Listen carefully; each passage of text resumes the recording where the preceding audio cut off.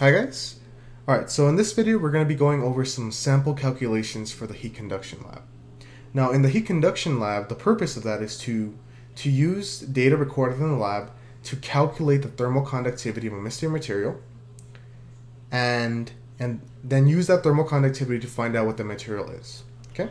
So the purpose is to find thermal conductivity and in order to do that we have to write down a formula that has thermal conductivity in it. And for that one we're going to use Fourier's law of conduction. So let's write that down. So we have Q, the heat transfer rate, is equal to minus K, this is thermal conductivity, times A, which is the area, times delta T over delta X. And it is important to know that they do give us a di diameter of the material. The diameter is set at 0.025 meters. Okay. Now let's look at the data we're going to be recording in the lab and see how that helps us. Okay. So here's um, an example of the data you might be recording in the lab. You're going to have eight data points. There's going to be eight channels, T1 through T8. You're going to be recording the voltage at each point, but the voltage is going to stay the same at 10 the, the entire time. You're going to record the current at each point, but the, the current's going to be pretty close to 1 the entire time. So these two are constant.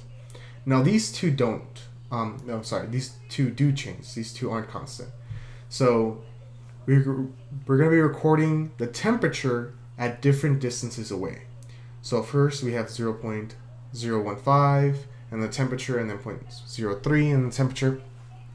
So we'll be recording the temperature at each interval of 0.015 meters.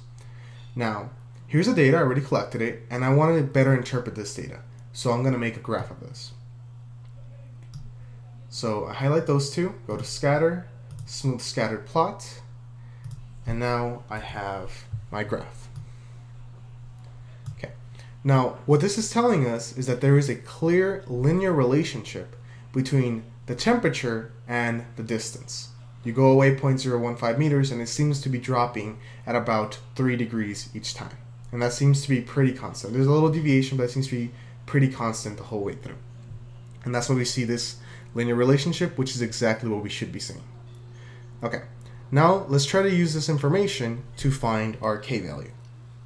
So going back over here, now let's try to plug in some of the numbers here. Now, we don't have heat transfer rate explicitly, but we do have voltage and we do have current. When you multiply those two together, you do get um, the heat transfer rate. So let's put those two values in. So we have 10, which is the voltage, times 0.97, which is the current, is equal to minus k, that's what we're solving for.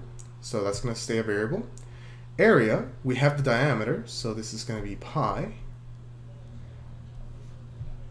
times 0 0.025 squared on 4. Delta t, since this is a linear relationship, we can use any two data points. So let's use T4 and T5 in this case. So T4 is 38.1. So we have 38.1 minus 35.7.